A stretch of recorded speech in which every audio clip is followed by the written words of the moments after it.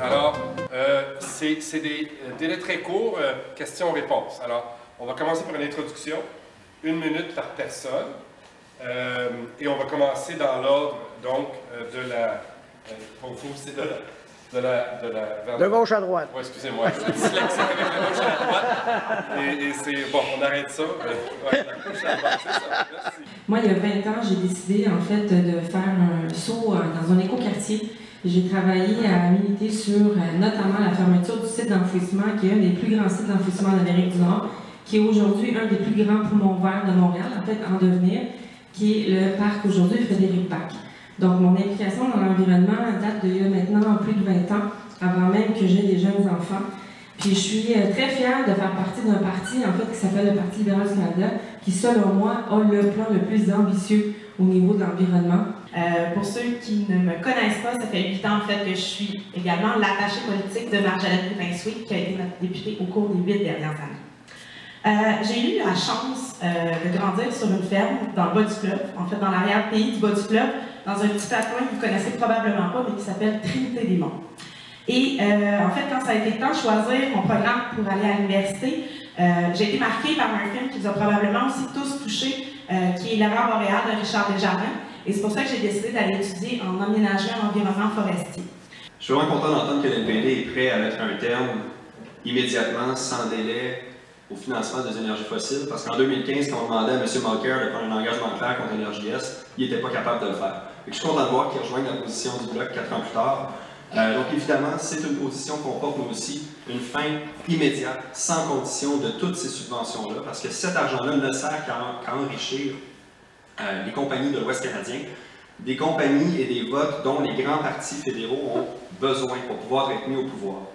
On veut avoir un programme d'électrification des transports, non seulement pour la voiture solo qui, on ne se cachera pas, continue d'être un problème, puis continue d'être quelque chose qui est la qualité des gens.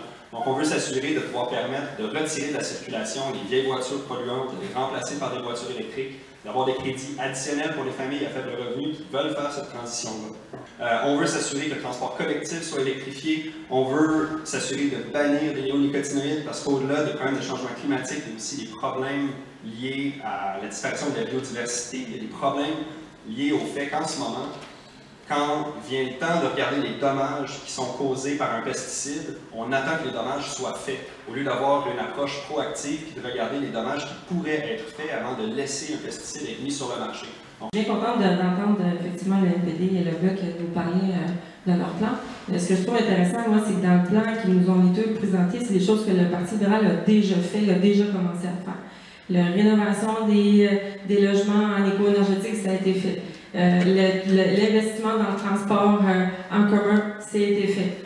Euh, je pense que déjà au Québec, juste au Québec, on a 5,3 milliards qui ont été investis juste en transport en commun. Mais moi, je vais vous parler pas tant des 50 mesures qu'on a fait depuis 4 ans, mais surtout de ce qui va être fait. Puis je pense que deux, trois choses que je veux dire là-dessus qui, pour moi, me semblent extrêmement importantes. La création d'un conseil d'experts indépendants, enchâssé dans la loi. Ce qu'on veut, là, c'est que finalement, l'environnement ne soit plus un enjeu politique, mais un enjeu de société. Par un comité d'experts indépendant qui, justement, à tous les 4 ou 5 ans, va pouvoir devoir effectivement, est-ce qu'on a et on respecte le plan ambitieux qu'on s'est donné. Parce que dans 10 ans ou dans 15 ans, là, il va falloir que le changement climatique, on s'y attaque, comme tu disais tout à l'heure, Catherine, pas juste maintenant d'un clin d'œil, mais qu'on ait un regard sur 50 ans et qu'on puisse le faire à chaque fois dès maintenant commencer à appliquer le plan que le PD met en place, vous n'auriez pas dépensé 4,7 milliards pour acheter un pipeline d'une énergie du passé. Euh, deuxièmement, Simon, le NPD propose de réduire, de couper les subventions à l'énergie fossile depuis des décennies. je pense qu'on euh, peut, peut remettre ça au clair. Pour nous, il faut créer un bureau de la responsabilité climatique qui va avoir le mandat de s'assurer que le gouvernement respecte ses cibles. Euh, le gouvernement libéral a pas modifié les cibles du gouvernement Harper, qui était quand même déjà pour un champion dans la chose, euh, et il rate d'ailleurs les cibles du gouvernement conservateur. Donc, un groupe d'experts indépendants pour parler d'environnement, je trouve ça tellement hypocrite. On a 500 000 personnes qui sont descendues dans les rues. On a-tu vraiment besoin d'un groupe d'experts indépendants alors que le consensus scientifique c'est qu'il faut agir maintenant. Je pense que vous vous donnez une belle apparence. Je pense que le Parti libéral est très bon pour donner un show, puis donner l'impression qu'il est prêt à faire quelque chose pour l'environnement, mais la réalité, c'est que vous avez eu quatre ans, puis il n'y a rien de concret qui a été fait. Le programme Éco-énergie, qui permettait de rénover des habitations, il a été aboli par le gouvernement Harper. Trudeau n'a rien fait pour rétablir ce programme-là. Tant et aussi longtemps que le Parti libéral, que le Parti conservateur, que le NPD vont vouloir prendre le pouvoir, ils vont avoir besoin de faire affaire avec les prairies, ils vont avoir besoin de laisser le pétrole être extrait du sol, et ça, c'est inacceptable. Euh, on veut aussi s'assurer que jamais la distribution d'eau ne sera privatisée lorsqu'on parle de distribution d'eau publique. Nos aqueducs, c'est des infrastructures qui sont critiques et on ne voudrait pas voir un gouvernement essayer de privatiser euh, cette, euh, cette partie-là de nos services publics. Ceci étant dit, on a parlé aussi des pesticides. Je pense que la question de l'assainissement des eaux, c'est une chose, mais on doit aussi parler de la qualité de l'eau en général. On, veut s'assurer qu'il n'y a pas de déversement de pesticides et qu'il n'y a pas de, ruissellement des pesticides vers nos eaux potables qui vont avoir des impacts sur la biodiversité. Donc, c'est pour ça qu'on propose un fonds de 300 millions pour permettre aux agriculteurs d'avoir accès à des nouvelles méthodes pour, pour assurer, un, que leur agriculture est productive, mais qu'elle est faite dans le respect de l'environnement c'est sûr que l'enjeu de l'eau est extrêmement euh, important, surtout pour les grandes, euh, les grandes villes, mais les municipalités euh, partout au pays et partout ici au Québec. C'est d'ailleurs pourquoi le, fonds vert qu'on a, sur lequel on a investi un milliard vient en, aide aux municipalités, puis on a augmenté l'apport du, fédéral qui est passé de 33% à 50% d'investissement pour les projets d'investissement. Ça, c'est majeur pour les municipalités, surtout les petites municipalités au Québec qui ne font que des investissements à même leur fonds euh, foncier. Euh, je suis une fille du bas du fleuve. Euh, pour moi, le fleuve, ça fait partie de mon ADN. Euh, maintenant, j'ai remonté le fleuve, je suis rendue à Montréal, on vit sur une île, on n'y a pas accès. On n'a pas accès à l'eau.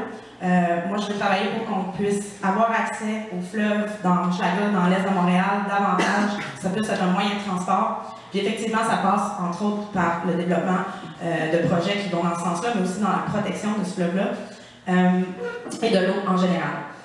Pour nous, pour l'NPD, en fait, on veut mettre en place une stratégie pan-canadienne sur l'eau douce on est une des grandes réserves mondiales d'eau douce, comme on l'a dit.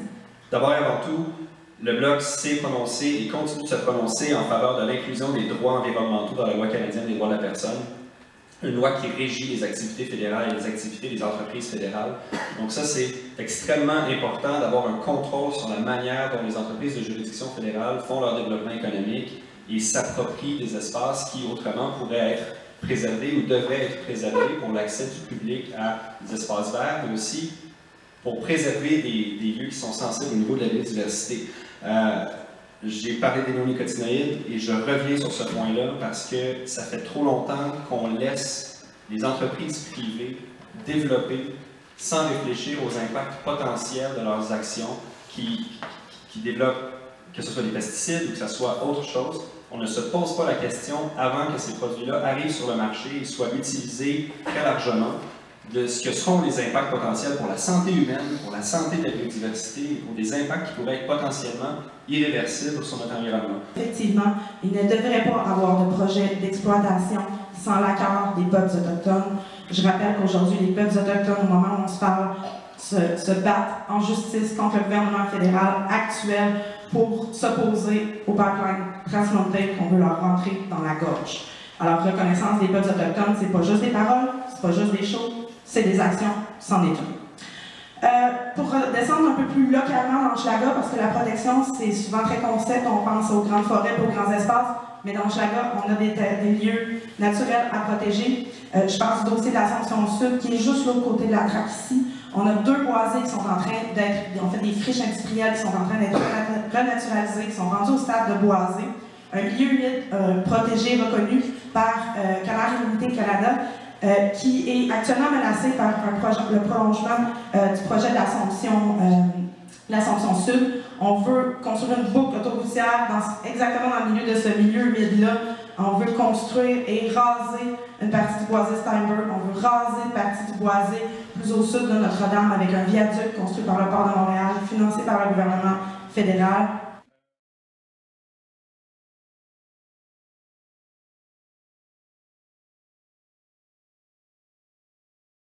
Exploitation, distribution, vente, on a gagné l'amiante. 2021, on s'est engagé à bannir le plastique à usage unique. On a déjà commencé à euh, éliminer et fermer l'exploitation du charbon, puis on s'est engagé à le faire d'ici 2030.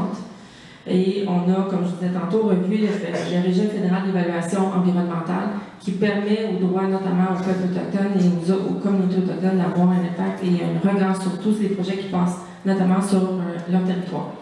Et pour ce qui est de la loi canadienne sur la protection de l'environnement, alors oui, on s'est engagé à revoir et ça le plus tôt possible. Effectivement, il faut revoir ces lois-là. Le problème de la plupart des lois, particulièrement fédérales, c'est que ce sont de beaux principes, des beaux concepts, mais n'ont pas de temps, euh, puis souvent euh, sont difficiles à appliquer dans la vie réelle. Alors, euh, on, on, passe beaucoup de temps, les parlementaires passent beaucoup de temps à revoir, à faire des amendements, mais en fait, c'est important pas perdre ce temps-là à faire des lois qui sont finalement vides et pas efficaces. Euh, c'est d'ailleurs pour cette raison-là que le NPD a déposé deux fois plutôt qu'une un projet de loi pour bannir les néonicotinoïdes. Qu'est-ce que ça mange en hiver? C'est en fait des semences qui sont enrobées euh, de pesticides.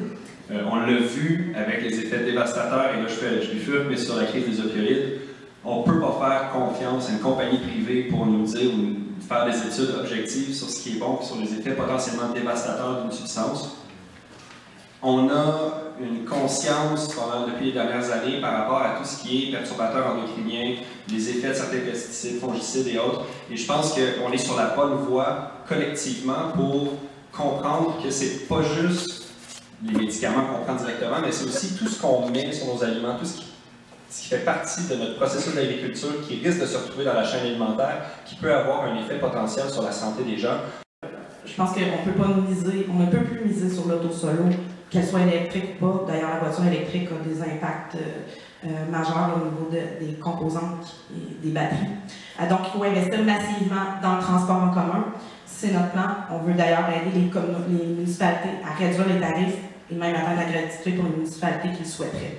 Concrètement, pour Hochelaga et l'Est de Montréal en général, ligne bleue, hein, ça fait 30 ans qu'on en parle, on ne va tout pas retenir notre souffle, on va attendre de la voir avant de la croire. Ligne rose, tramway euh, ou transport structurant sur Notre-Dame. Euh, et également un dossier qui m'intéresse énormément, on a une navette fluviale qui part de Pointe-aux-Trembles, qui s'en va au centre-ville. Je pense qu'on doit développer ce mode-là, reconnecter avec notre fleuve et faire que cette navette-là arrête au parc Belleville, arrête dans Hochelaga, se rend au centre-ville avec une plus grande fréquence.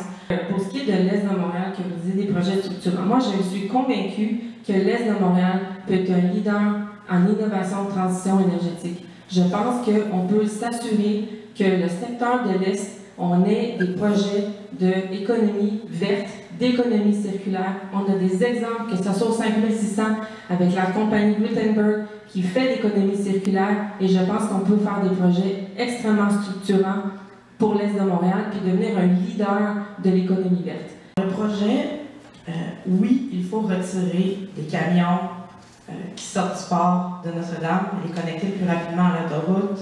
Euh, ça va effectivement réduire euh, leur émission de gaz à effet de serre de ne pas être poignés dans le trafic sur Dixon puis d'émettre ça. Comment le faire, par contre? Le plan qu'il nous a proposé actuellement, c'est une véritable catastrophe. Et non, il n'y a pas d'acceptabilité sociale et le gouvernement fédéral a financé ces projets-là, a fait des belles conférences de presse, et après ça, on les a revus.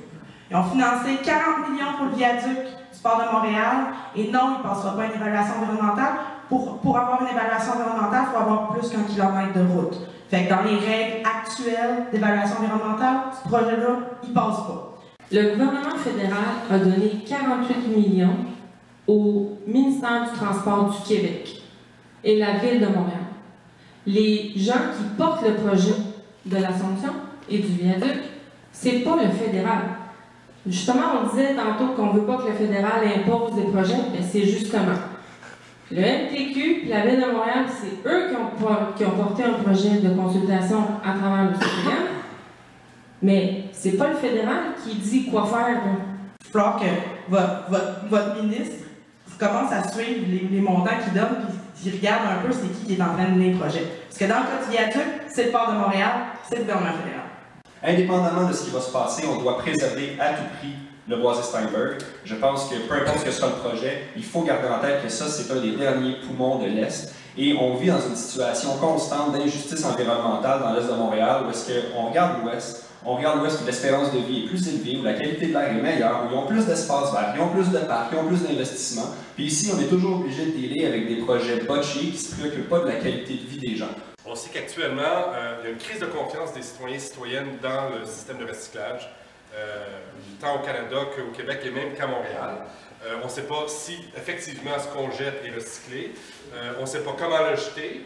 Et on voit aux nouvelles des, des, éléments dits recyclables euh, par bateau arriver aux Philippines et se faire virer de bord. Comment, premièrement, optimiser l'efficacité du système de recyclage? c'est vrai qu'il y a une crise de confiance. Je pense que le problème, c'est qu'on prend peut-être trop pour acquis que ça fonctionne, parce que ça fait trop longtemps que c'est rentré dans nos vies. Puis de temps en temps, ben, on va faire un petit examen de conscience, regarder si on le fait bien, si on peut le faire mieux. Euh, au-delà du besoin de s'assurer que ce qu'on met au recyclage soit recyclé, je pense que collectivement, on a une responsabilité de regarder notre mode de consommation. Comme je vous disais tantôt, moi j'ai commencé à travailler avec quartier, ça fait 20 ans. Et à l'époque, on faisait la sensibilisation aux nouveaux arrivants pour recycler parce qu'il y a une éducation à faire au niveau du recyclage. Puis cette éducation, elle doit continuer à se faire. Mais il y a aussi euh, des crises qui s'en viennent, euh, qui vont s'ajouter à cette crise du plastique, qui est les appareils électroniques, le verre. Il va falloir que, comme, euh, comme pays et comme province, comme nation, on se pose des questions à savoir comment on va régler cet enjeu-là. Alors, on doit aller à la source, bannir le plastique à usage unique et le plastique à usage unique, là, pas juste le bleu puis le, le mauve, puis sinon les autres, ça marche pas. Euh, il y a des superbes euh, alternatives de, de, plastique compostable qui sont en train d'être développées. On doit également financer euh, cette recherche-là pour développer des alternatives intéressantes. mais également pour les rendre disponibles aux commerçants parce que si elles coûtent trop cher, les commerçants ne pourront pas les utiliser et justement pas arriver à faire vivre leur business. La crise environnementale, elle touche tout le monde euh, inégalement, mais elle est à divers paliers. Elle, est en ce moment euh, tant au niveau international qu'au niveau local ici dans. Puis je pense que la mobilisation puis la lutte qui doit être faite face à cette crise-là, elle doit avoir cette même, euh, cette même ampleur-là, d'être capable d'avoir des, politiques globales, des politiques internationales, tout comme des politiques locales et individuelles extrêmement efficaces. Dans un contexte où on le vit avec la marche de la semaine dernière, l'environnement prend beaucoup plus de place. C'est plus juste un chapitre d'une plateforme électorale. Ça devient vraiment au cœur des enjeux, non seulement des, partis politiques, mais des citoyens. Puis je trouve ça rafraîchissant de voir qu'il y a autant de personnes qui viennent pour un enjeu qui, autrefois, aurait été vu comme un enjeu de niche, puis qui aurait attiré juste des gens qui s'intéressent spécifiquement à ça. J'aime les initiatives qu'on y retrouve, des initiatives communautaires, des initiatives sociales et maintenant des initiatives environnementales. On n'en a pas parlé, mais le, super beau projet de rue partagée qu'il va avoir sur Ontario, où est-ce qu'on fait le choix de dire, ben les voitures peuvent passer en dernier, après les piétons, après les vélos. On est capable de faire ces choix-là, on est capable de faire ces expériences-là. Et je trouve ça intéressant qu'il y ait cette créativité-là, qu'il y ait ce désir d'essayer des choses nouvelles dans Schlager. Au Bloc québécois, les seules voix que j'aurai apportées, ce sera la voix des Québécois, des Québécoises, ce sera la voix des gens qui veulent qu'il y ait une différence qui soit faite pour l'environnement. Moi, j'ai envie de rêver pour l'Est. J'ai envie de rêver pour l'Est. J'ai envie qu'on ait des projets d'agriculture urbaine zéro déchet. Moi, j'ai envie qu'on ait des exemples d'entreprises d'innovation verte. Moi, j'ai envie que, finalement, de mon vivant et de votre vivant, on voit un transport sur la rue Notre-Dame. Moi, j'ai envie de rêver l'Est, puis j'ai envie de le rêver avec vous. Parce que je sais qu'Hochelaga, c'est un quartier qui est fier, c'est un quartier qui est solidaire qui était ici et on remarque qui était ici et qui ne l'était pas. Euh, et ça, c'est important aussi, je crois. Euh, merci pour vous être déplacés. Je vous souhaite une bonne soirée et une bonne continuation dans cette campagne électorale.